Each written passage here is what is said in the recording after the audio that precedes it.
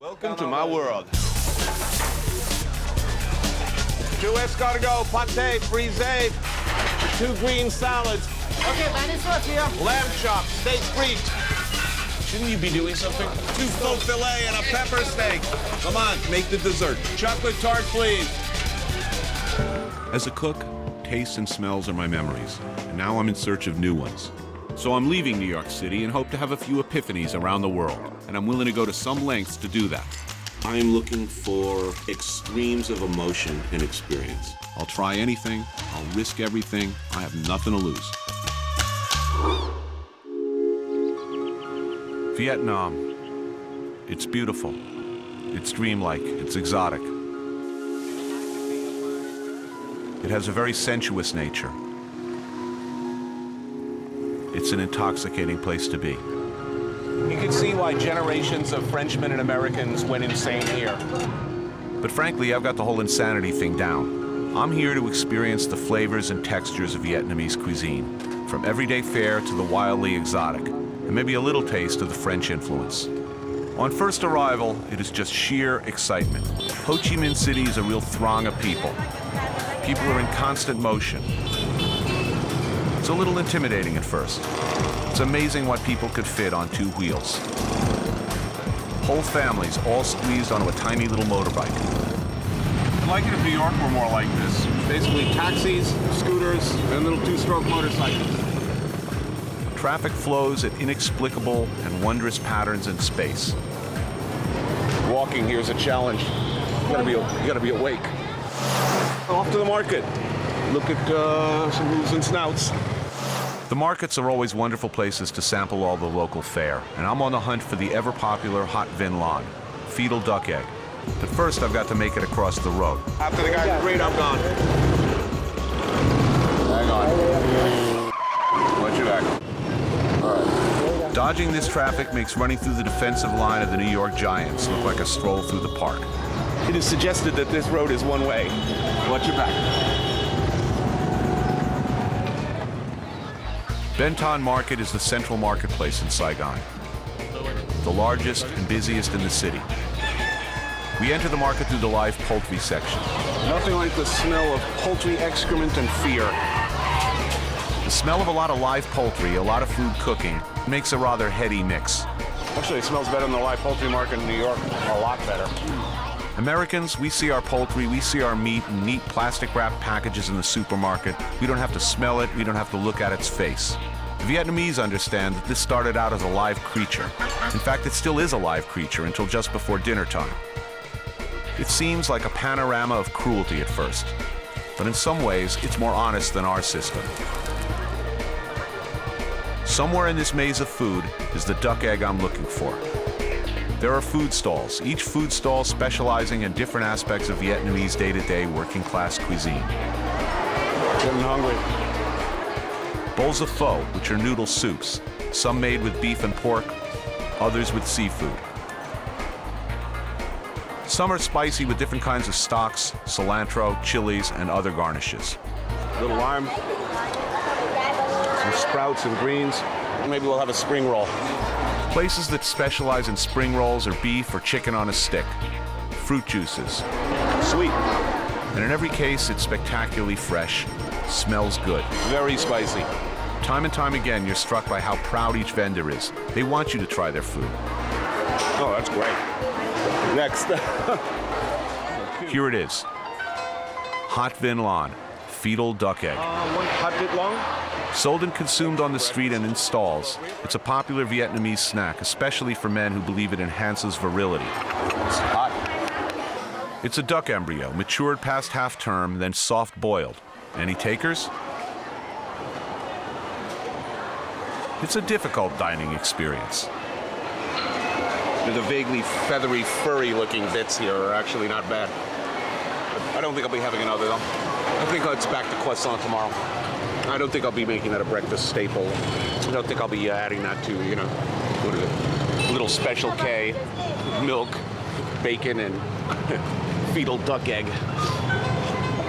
Beaks and feathers first thing in the morning may have been a bit ambitious. I'm in need of something to settle my stomach.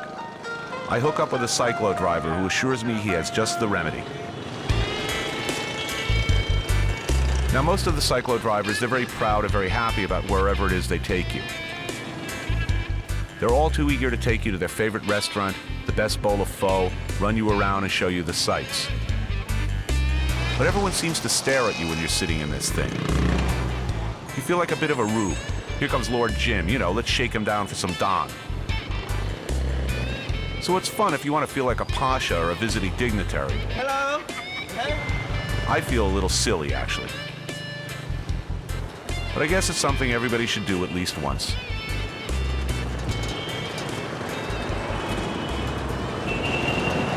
Squid soup. So this is what the cyclo driver had in mind? Cháo mực? Squid soup? Đây đây hai tôi đây này.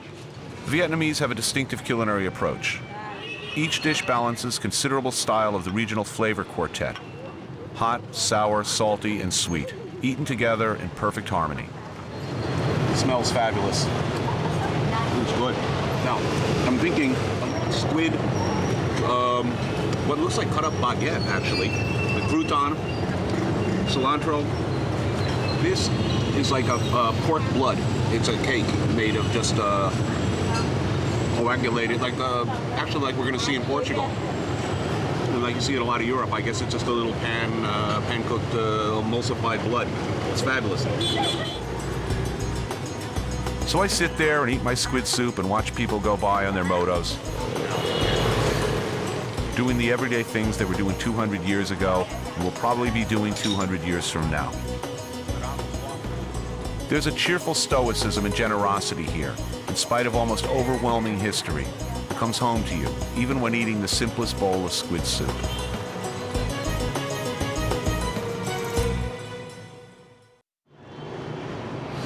It's remarkable. Look at this place. As night falls, every street in Saigon seems to be like Sunset Strip. You've got the same type of lowrider cruise mentality. And the streets just completely fill up. Tonight's destination is a one-of-a-kind family-style restaurant, Com Nieu Saigon. The first thing you notice is the sound of smashing crockery. Typically not a good sign. My most memorable host in Vietnam is the inimitable Madame Gao. Welcome everybody. oh,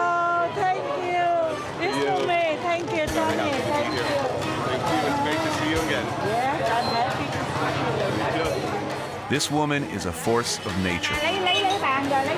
She's generous, I'm very happy to have you. almost smotheringly friendly. I love everybody come from New York. Một chút em She's a mix of Yenta, Jewish mother, and six-cylinder Gambino family hoodlum. Phước ơi, Phước lấy cái ghế cho em bé ngồi nè, cho cho cái cô ảnh. The operation she runs is spectacular. She thought about this place for a long time before she opened it, and it shows. You look at the tiny little details, the sort of things a lifer cook like me notices, a lifer in the restaurant business. It's not a corner of this restaurant, not one part that does corner that isn't completely squared away like a naval vessel. This is a smooth operation. This is the way to run a restaurant.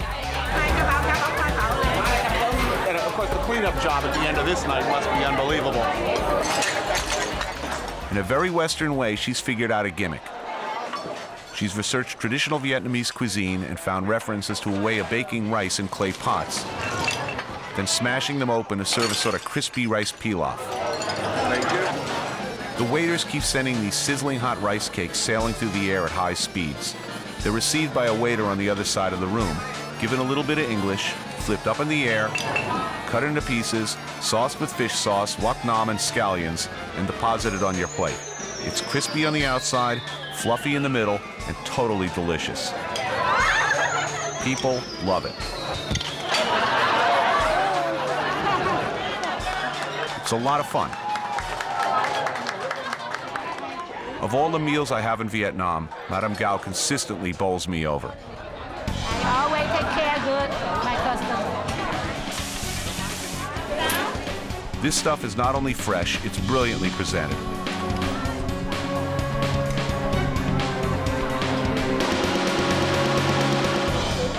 It's a full-on assault. You know, it's uh, just an attack of brilliant colors. Lobster grilled and bathed in a sweet paprika sauce. Crabs stir-fried with sweet basil. Steamed tiger prawns.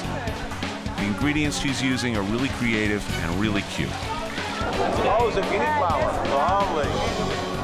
Zucchini blossom stuffed with ground pork, dipped in batter, and deep fried. So good. Fish soups. I've had a lot of fish soups, but this with the little cockles, tofu, and dill in a fish broth, it's really imaginative and powerful. Cuts of pork with tea marinated hard cooked eggs. Sounds like a strange mix? It's not. Everything is so fresh here, it's crisp. Really strong, really powerful, really seductive flavors. This is a sort of food that Westerners who go to Vietnam time and time again come back raving about. You know, it's mind-blowing. It's the best example of what the Vietnamese do so well. Apparently every night it's like a holiday meal. Oh, yeah, look at this. A palate cleanser of chilled mango and custard apple. If you look around at how happy people are here, the expressions on people's faces. This makes me wish I had a bigger family so I could bring them all here. You see new arrivals coming in on motorcycles and motor scooters. They roll right through the dining room. Mình ngồi ở ngoài. Madame Gao is a terrifyingly attentive host. Are you happy? Uh-huh. Every time you come to Vietnam, you have to call my restaurant. Okay, have a good night. Thank you so much. Okay, kiss. Okay. Don't forget me. I will never forget No, you. no. But a word of advice if you're thinking about copying her rice and crockery gimmick, think again. I would not want to make an enemy of Madame Gao.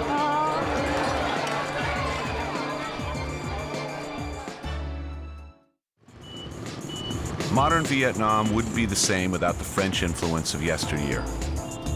I'm on my way to La Bibliothèque, a little piece of France in the heart of Saigon, a restaurant that embodies the past. Madame Dai is a throwback to the early colonial days of French occupation. présente, je suis Madame Dai, je suis très heureuse de vous accueillir. This is a woman who speaks French fluently, educated and largely raised in France. Vietnam's first female lawyer, C'était mon étude d'avocat, my law firm. who in 1975, when the communists took over South Vietnam, turned her offices into a cafe. Je vous apporte du martini. Cheers, everyone. which quickly became a meeting place for visiting dignitaries, ambassadors, and maybe a couple of spies. Oh, incredible. Don't get to the Victor at Dien Bien Phu right here. That's amazing. This is just incredible. Mon très cher ami François Mitterrand. The Pope. It's extraordinary. Oh, you have some extraordinary friends. Even after all these years, there's a whiff of aristocrat about her. Her kitchen speaks of days gone by. People that work with her, she mentioned that one was a nanny for her children. I suspect these women have been with her for decades.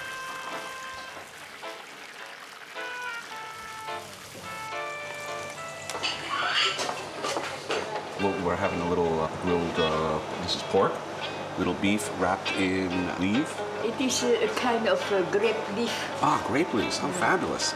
And this is rice noodles. Whoops. Lovely. And spring roll.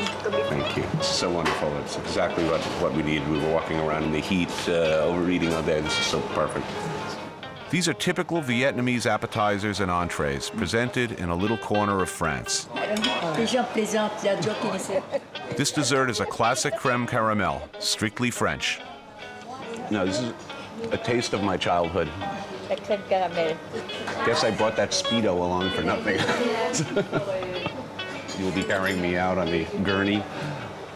And of course, at the end of the meal, she decides to hit us with her special blend of snake wine. A special preparation. I didn't expect her to come out with this big jar of snakes right after my creme caramel. Parfait, merci. À votre santé, À madame. votre bonne santé.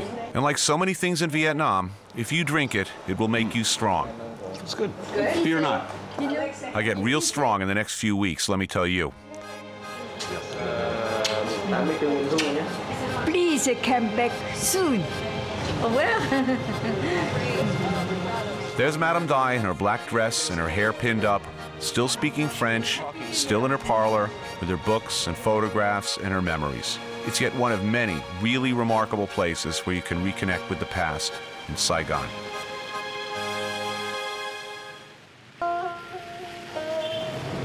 Starving. I could eat a snake. In fact, I could eat a palpitating snake heart. In fact, that's exactly what I'm going to do. One continually hears about the mythological stamina giving quality of certain foods in Vietnam, and Cobra Heart is one of them. Huong Rung Restaurant literally translates to flavors of the forest. And you get flavors of the forest, all right. Roasted field mouse, lizard, chameleon, minced bat. What's a teal? What I'm going for is the famous live, palpitating Cobra Heart. Come on, let's go. This is one of those things that you just got to do, right? I want the heart still beating, right? It's one of those cocktail party stories that's sure to turn mom green. I don't like it that the waitresses are afraid of this. I wanted Cobra Heart. This was a destination for me. Cool. Let's eat. Essentially, they're all too happy to bring out a squirming, hissing, menacing looking cobra. Let's let's do the nasty. They don't seem to have their mise en place together. I have my mise en place together when I'm making steak frites. It seems to me, you know, when you're making a live cobra, you know, you should have your operating good stuff laid out. You know, what's the cutting board? The knife. Scissors. You notice the band-aid on our waiter? My cobra handler has a large bandage on his hand, which leads me to believe that maybe he was a little sloppy with the last cobra. So, Cobra Heart. They zip that guy open right in front of you. They put the beating heart right into a little dish, and it's pumping away like right out of a horror movie. Hey, come on, man. Hey, hey, let's go. Well, it's fresh. What it beating. Cheers, folks.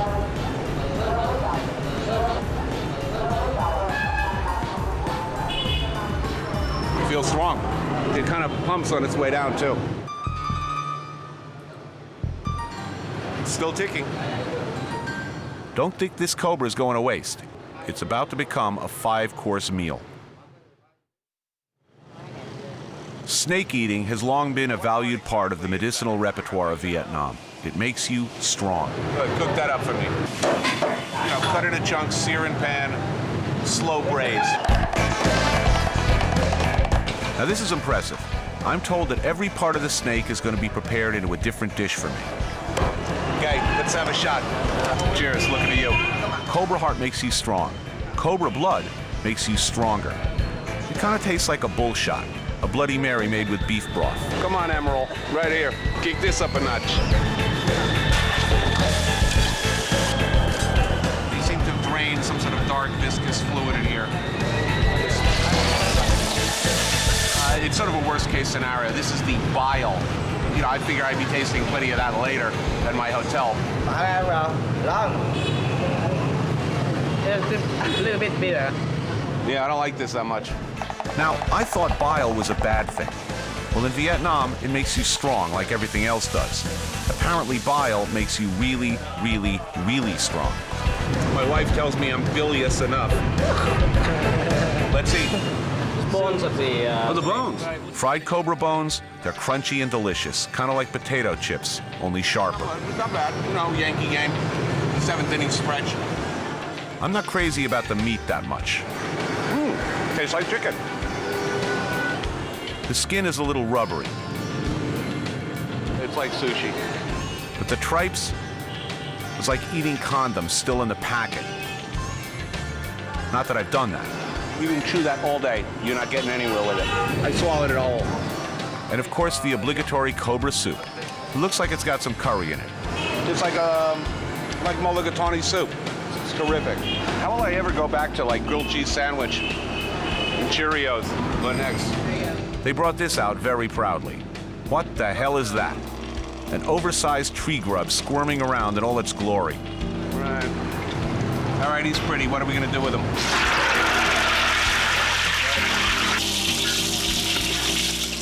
You know, I've already been gargling cobra bile, and they bring this along as course two? Right, there's my grub. You know, like, you know, the cobra guts aren't enough. I gotta do this for the cause. Thanks. It's kind of crunchy on the outside and creamy in the middle. Imagine a deep fried Twinkie, only smaller. Uh, you know, I don't think I'll be taking a batch home. It kind of looks like Alien 7, The Revenge. I wouldn't call Cobra or Tree Grub everyday local fare. Do they sell this at D'Agostino? Not yet. Eating them is a lot like some Western foods that the sophisticated eat without thinking. Belon oysters, caviar, foie gras. Maybe eating snakes and worms only seems more outrageous because it's a different culture. All right. There are four or five touchstones of my Asian adventures. The palpitating cobra heart is a must do. I'm not disappointed. It's exactly as exotic an experience as I'd hoped for, even a little scarier. And strangely enough, I am feeling strong.